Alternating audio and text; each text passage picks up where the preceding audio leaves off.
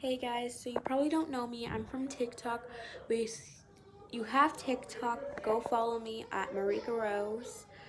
Um, yeah.